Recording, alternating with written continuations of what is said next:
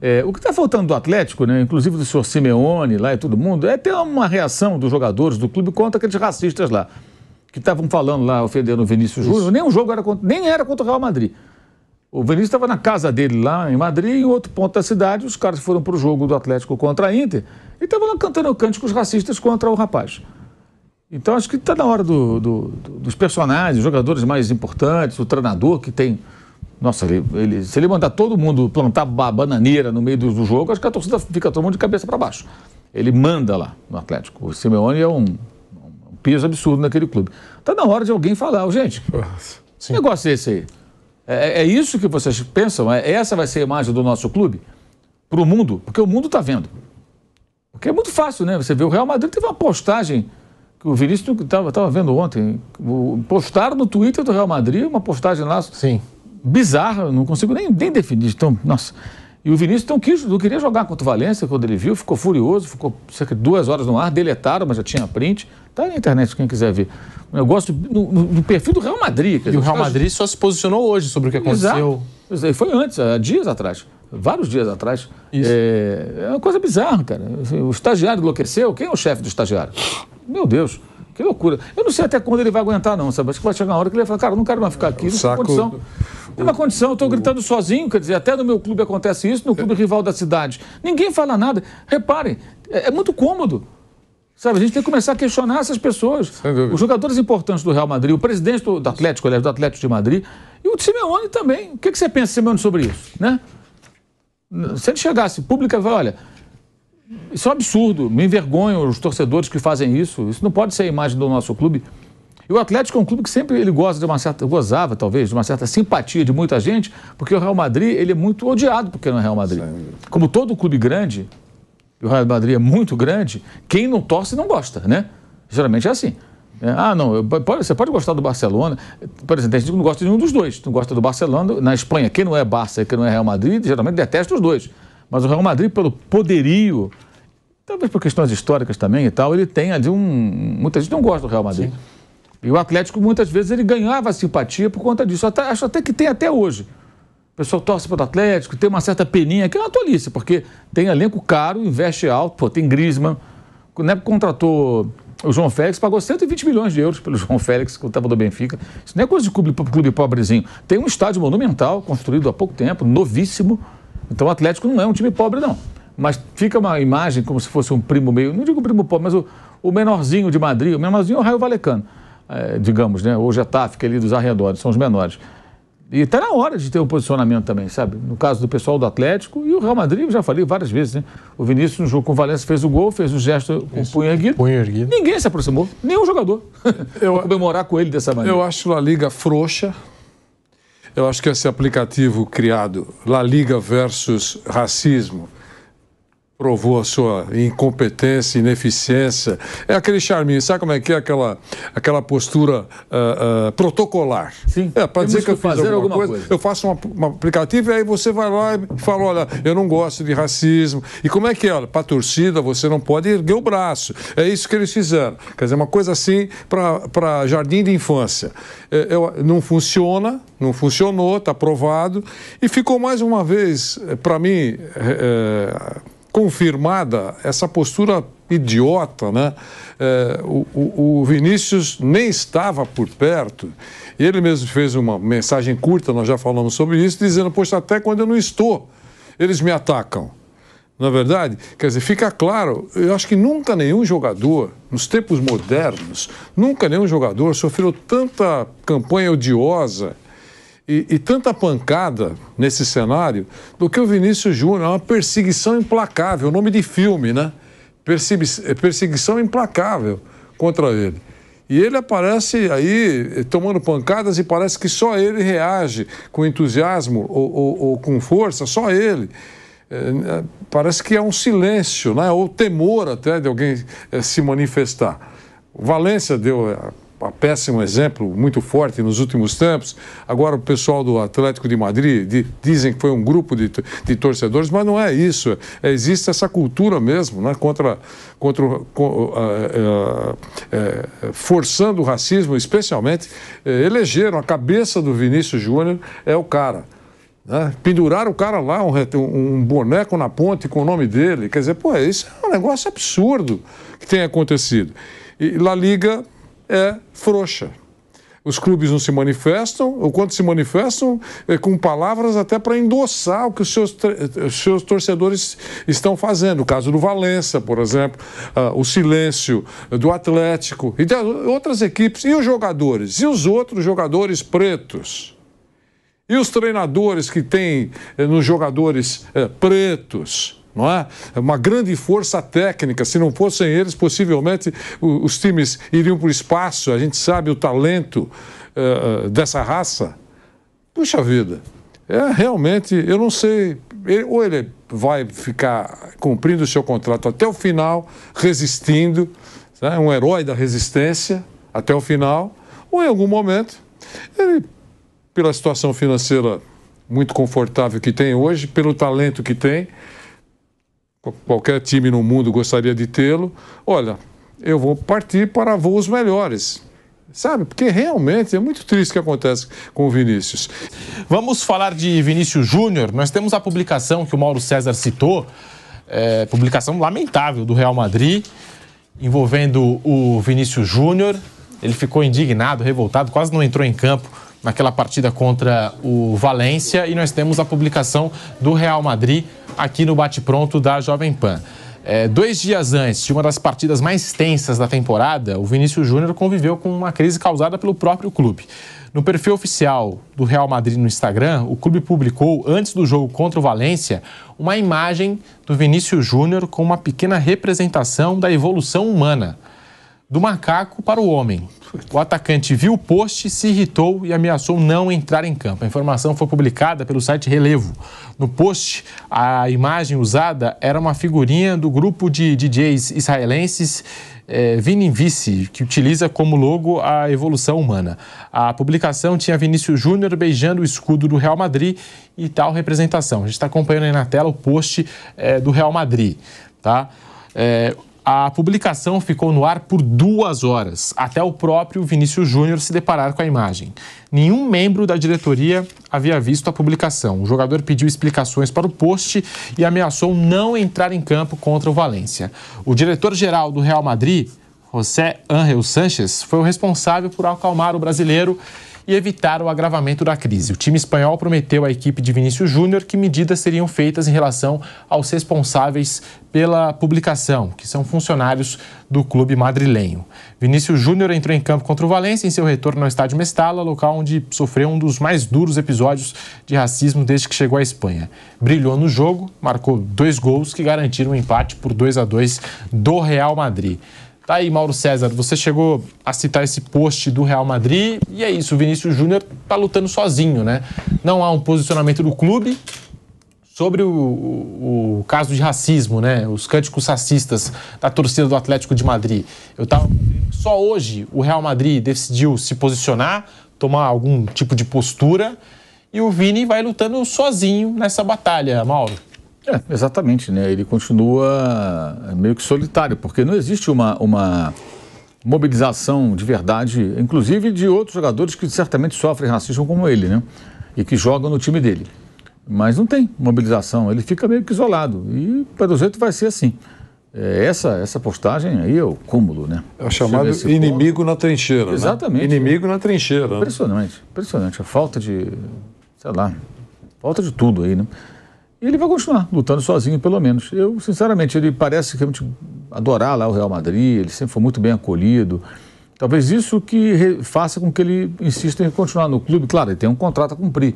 Mas poderia pressionar para sair, eu quero ser negociado, me vende para outro time. Não dá para ficar aqui na situação. Eu teria argumentos para pressionar o clube, porque é um caso muito sério. Porque não é uma coisa isolada, é sistemático, gente, é o tempo todo. É o tempo todo. E assim, é uma vergonha a sociedade espanhola também, né? Porque também não há mobilização.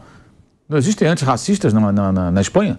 Para você parar e falar, vem cá, que negócio é esse? Porque essa é a peste que vai colando no, no povo. E é injusto, porque certamente nem todo espanhol pensa assim. Mas isso fica. Eu sempre comento isso com os colegas aqui da Argentina, quando acontece tá, de um torcedor babaca fazer aquela coisa de macaco e tal. Eu sempre falo, cara, se vocês aí não tiverem uma postura feroz contra esse tipo de comportamento, o povo de vocês todo vai ficar, ah, mas nós não somos assim, mas alguns são. Aqui também no Brasil tem. Só que aqui a gente está mais avançado nessa luta. A gente aqui no Brasil, quando Fala. aparece um racista, pau canta. Sim. Entendeu? O cara não tem muita chance de ficar fazendo graça. Se aparecer um torcedor aqui numa arquibancada, no Brasil, com ato racista, esse cara vai preso, a, as pessoas ao redor vão repudiar, a imprensa vai dar porrada direto na coisa, não, ele não vai passar em branco. Lá tem gente que, ah, não, é brincadeira, acham que é uma coisa normal. Sabe, o cara ri, alguns ao redor riem também. Então, nesse ponto, nós evoluímos aqui como sociedade. A gente está num estágio mais avançado, embora muito distante do ideal, porque os racistas estão por aí soltos ainda. Então, porque eu penso assim, racista tem em todo lugar, né? A questão é como você lida com isso. Se você lida de, com indignação e repulsa, você faz com que o cara fique contido. Se você não agir dessa maneira, ele bota as manguinhas de fora. Então, no caso específico da Espanha, é, é, necessário que também a sociedade, as pessoas se manifestem. E a gente não vê isso no volume. Certamente há uma ou outra manifestação, mas eu digo no volume maior, uma mobilização maior. Eu digo, a torcida do Real Madrid chegar num jogo, não adoram fazer mosaico? Faz a mosaico para o Vinícius contra o racismo. Mas não adianta ficar só falando, é ter atitude. É a hora que um cara chegar no estádio, por exemplo, que o Real Madrid joga como visitante, e um cara chegar lá, levantar e fazer um gesto de macaco, alguém do lado pegar o cara, dá uns pescotapas, chamar lá o, a polícia, vai, aqui ó, pega esse cara aqui. Não, vocês viram um depoimento da menina lá, brasileira, que foi entrevistada pelo Gustavo Hoffman, lá no jogo em Valência, a brasileira. Ela estava dali, criança fazendo o gesto, que o adulto faz, a criança repete. Ela foi lá, foi fazer o vídeo, queriam tomar o celular, discutiram com ela, Aí chamaram a polícia para levá-la. Olha que absurdo. Aí o policial veio, ah, mas racismo aqui? Ah, não, é estádio de futebol. A própria polícia teria dito para ela alguma coisa desse sentido. Quer dizer, eles toleram, acham normal. Acham normal, acham que está tudo bem. Está tudo bem. E a grande questão é assim: é, na cabeça dessas pessoas, eu vejo, eu acho que funciona dessa maneira. O Vinícius para outros. Você está aqui, jogando no nosso país, ganhando dinheiro e tudo mais. É, tudo bem, fica aí, faz o seu. Agora, nós vamos chamar você de macaco e você vai aceitar. Você vai ficar quieto. Só isso. Já está ganhando muito, vai, vai ficar quieto. Só tá que ele. Está no preço. Está no preço, só que ele não aceita. Ele, ele, fez ouvido de ferro um bom tempo, tipo, que não era com ele, tentou, chegou e falou, não, chega, basta, acabou, não vai ter mais esse negócio. Aí, ao reagir, vem essa. Você vê que é em cima dele, é só em cima dele. Isso. Perseguição implacável. E uma vez ou outra, um outro jogador, mas é mais centrado nele. Por quê? Ah. Como esse cara ousou reagir a isso? Atrevimento. Ah, que atrevimento, porque ninguém fala isso, mas a mensagem embutida é essa. É isso. Você está aqui, está jogando, está ganhando teu dinheiro, legal, agora você vai ter que aturar. Porque você está no meu país, cara, você está fazendo o que aí? Você vai ter que aturar. E aqui é assim. Essa é a mentalidade. É isso, isso tem que ser reprimido. Porque, evidentemente, não é todo mundo que pensa dessa maneira. Agora, é impressionante a passividade dos jogadores, dos clubes e até do Real Madrid, inclusive. O Atlético, a gente falou tanto do Valência, cadê o Atlético? Qual a postura do Atlético? Cadê o seu Simeone? Eu poderia né, dar um exemplo bacana, até para a repercussão que isso teria no país dele, já que ele é argentino, onde também é necessário um rigor maior no, no, combate ao racismo. A gente fala sempre aqui. A única coisa que eu não gosto quando se fala disso é quando fala, ah, eles são assim. Não. Aqui também tem, e quando resvala nisso, vira xenofobia, que também não dá. É, é, existem pessoas de diferentes comportamentos em todos os lugares. Aqui no Brasil também tem. Depois você está andando na rua, está trombando aí com um racista aí. Só que aqui o cara bota a viola no saco porque sabe que o bicho pega. Aqui fica ruim. Antigamente não era assim, não. Agora é. A gente evoluiu nesse sentido. Como em outros países também você tem é, sociedades mais evoluídas nesse sentido, onde esse tipo de manifestação não é tolerado. Mas lá é. Lá é. E o mais bizarro, eles acham normal. Aí o menino está sozinho nessa história aí. Eu acho que ele continua lá porque ele gosta muito do clube, o Florentino sempre bancou ele ali. Inclusive, eu lembro que quando ele foi negociado, muitos especulavam no Brasil, ah, vai ser emprestado e tudo. E na época, a informação que eu tinha de uma pessoa do staff dele foi: não, o Florentino já falou que ele vai jogar no Real Madrid. Ele não vai ser emprestado. Vai ficar no, no time B para adaptar e tal. Foi exatamente o que aconteceu. E com todas as dificuldades que ele teve iniciais, até técnicas, né? Ele fazia jogos não muito bons e tal. Eles bancaram o Vinícius até ele virar o que virou. Né? Ele hoje é um jogador que fez gol em final de Champions, está cada vez melhor, fazendo mais gols, virou um atacante que faz gols, de, finaliza melhor, finaliza mais. E paralelamente acontece isso. E o sucesso dele parece que incomoda mais ainda essa gente, né? Essa gente? Será que dá para chamar é, de gente? É. Seguimos no canal do YouTube Jovem Pan Esportes. Tá aí Vanderlei Nogueira, Flávio Prado, essa publicação aí, esse post lamentável do Real Madrid nas redes sociais antes do jogo contra o Valência. É, eu falei há instantes, quando o Mauro estava falando sobre o tema, é o chamado inimigo na, na, na, trincheira, né? Quer dizer, não é possível, por mais estagiário, por mais sub-12 que seja o responsável por escrever o texto. É burro. É, é, é Até a burrice é, tem limite. É burro. Isso, cara, você é burro, é uma besta. O, o, o, e, na casa, né? O cara. Acho que ele deve ter ouvido falar em algum momento que o Vinícius está enfrentando uh, uma campanha é, uma perseguição implacável, como eu já falei aqui. Aí o cara vai e escreve um negócio desse, monta, monta, monta ah, uma postagem como essa, quer dizer, é realmente é, demissão VIP, né? não dá nem para conversar. Eu realmente fico muito triste porque esse garoto saiu daqui, não sabia nada, tudo isso foi de, relatado pela imprensa. Sabia nada, não sabia, aprendeu o idioma, eh, venceu todos os obstáculos, desembarcou lá. Sabe aquele garoto que chega eh, num lugar que não conheço nada, eh, foi abraçado por alguns jogadores mais experientes do Real e venceu, cara. Jogando numa competição extremamente difícil, num ambiente muito difícil, muito competitivo. E aí ele enfrenta isso fora do campo. Nenhum outro jogador enfrenta isso uh, uh, atuando, fazendo, exercendo a sua função.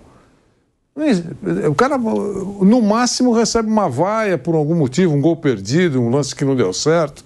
Mas ele tem uma perseguição e, e com o endosso de cartolas de clubes espanhóis e, e não tem o apoio necessário, eu digo assim, forte de jogadores importantes que jogam na mesma competição.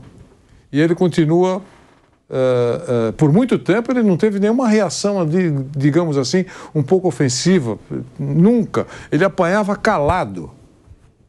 A gente que, a gente, a imprensa, que falava muito, vocês viram o que aconteceu, que absurdo. Então, e ele apanhando calado e em determinado momento começou a, a, expressar o incômodo, a humilhação, não aceitando a humilhação, não aceitando a ofensa. Eu torço muito por ele, adorei que os, quando, nesse jogo contra o Valência, quando ele marcou dois gols, eu falei, olha. E ergueu que, o braço. E ergueu o braço. Que, res, os gols. que resposta espetacular, né? É isso que eu queria falar sobre. A gente está voltando para a Rádio Jovem Pan, mas, Flávio, é isso, né? Porque a gente agora se colocando aí é, no lado do, do, do Vinícius Júnior, eu acho que o mínimo que ele espera, o mínimo, é ter o apoio do clube onde ele joga, o Real Madrid, né? diretoria, jogadores, os companheiros, o técnico, enfim. E agora o Real Madrid fez esse post, o próprio Real Madrid fez um post desses, cara. Aí não dá. É o que mostra que, que o cara lá é um imbecil. Nós estamos de volta à Rádio Jovem Pan. Pode falar, Flávio. O cara que fez esse post é um burro, um, um idiota, né? Realmente não tem palavra para definir isso aí. É, é, burro demais. Mesmo que, que ele pensasse isso, é, isso é burro. O cara é burro. Esse é burro. Isso aí não, não tem outra palavra, né? É, por certo, será demitido, porque talvez tenha exposto uma ideia que está intrínseca lá, mas você não pode colocar burro. E trocando mesmo um burro. É, eu, assim, tudo que, que o Mauro falou, que o Vanderlei falou, claro que eu assino embaixo. E eu quero só me apegar um pouquinho mais nessa falta de empatia dos companheiros. É. Poxa vida, isso deveria ser encampado pelo time. Você imaginou o Real Madrid não joga? O jogador vai falar, não vamos jogar. Não importa contra quem. Ah, foi atacado e Valência. Por exemplo, teve uma boa oportunidade. Não vamos a Valência, não. não vamos jogar lá. Sabe, você estava falando, eu estava pensando, Flávio. É, é, se todos os jogadores entrarem com o nome Vinícius nas costas. Só. Por exemplo, né? Por exemplo. Mas o, aí, no caso. Apenas isso. Eu acho que seria uma coisa radical. Tipo, não jogamos mais em Valência. Não, não enfrentamos o Atlético de Madrid. Ah, mas o, o time vai. Aí o time vai se coçar, porque ele vai começar a ter problemas. Ninguém, é meio cada um por si, sabe, Pedro? Está muito claro que o Vinícius tem que se virar sozinho. O que é uma lástima, né? Essa falta de empatia, essa falta de solidariedade. Nós não estamos falando de um. de um. de uma solicitação de um aumento de salário. Nós estamos falando de humanidade. Nós estamos falando de um tratamento a um ser humano que está sendo colocado, colocando todo o país em xeque, e aquilo que o Mauro falou é verdade. Ah, o espanhol é racista? Não, alguns idiotas, tem vários. Aqui está cheio também deles, né? Mas aqui existem leis mais fortes, lá não. Então, é, o que demonstra uma certa conivência também dos políticos espanhóis com essa situação. Então o, o, haveria necessidade do, dos iguais tentarem fazer isso com ele, né? Nem que fosse só os jogadores negros do Real Madrid. Deveria ser de todos, mas pelo menos nada. Ele se vira sozinho. Isso é triste demais, é muito triste. Verdade. Porque realmente, se você não tiver apoio dos seus companheiros.